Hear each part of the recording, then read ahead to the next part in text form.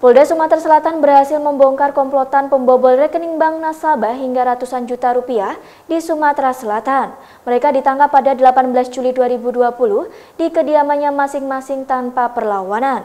Mereka sudah melakukan aksinya sejak tahun 2018. Dikutip dari Kompas.com, dua tersangka pembobol di tiga bank daerah yakni Aziz Kunadi 36 tahun, warga desa Jagapura, Kecamatan Kersana, Kabupaten Brebes, Jawa Tengah, dan Mujianto 34 tahun, warga desa Penarik, Kabupaten Muko-Muko, Bengkulu. Hal itu diungkapkan Kasubdit 3 Jatan Rasdit Reskrim Polda Sumatera Selatan, Kompol Suryadi. Dalam melakukan aksinya, mereka tidak hanya berdua, melainkan bersama tiga rekannya yang masih buron. Aksi pertama kali dilakukan para pelaku pada tahun 2018 lalu tepatnya di BPD Lampung senilai 70 juta rupiah. Kemudian Bank Sulawesi Tenggara di Kendari dengan total kerugian 120 juta rupiah dan terakhir Bank Sumatera Selatan Bangka Belitung 116 juta rupiah.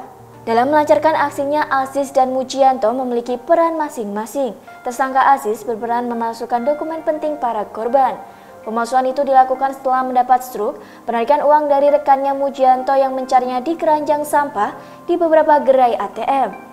Dari tangan pelaku, polisi berhasil mengamankan barang bukti berupa satu lembar kertas store tunai Bank Sumsel Bubble, satu buku rekening Bank Sumsel Bubble Syariah, kemudian satu unit printer, satu unit LCD, satu unit plastik stiker yang digunakan untuk mencetak KTP, hard disk, laptop, dan handphone. Sementara itu untuk tiga pelaku lainnya masih dalam pengejaran pihak kepolisian. Atas perbuatannya pelaku terancam pasal 372, 378, dan 263 KUHP dengan ancaman kurungan 5 tahun penjara.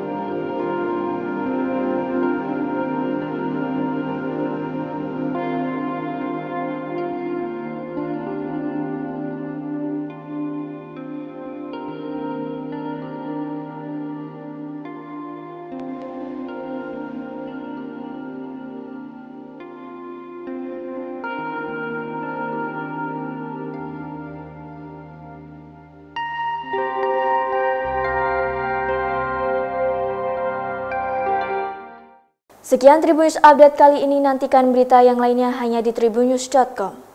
Terima kasih sudah nonton, jangan lupa like, subscribe, dan share ya!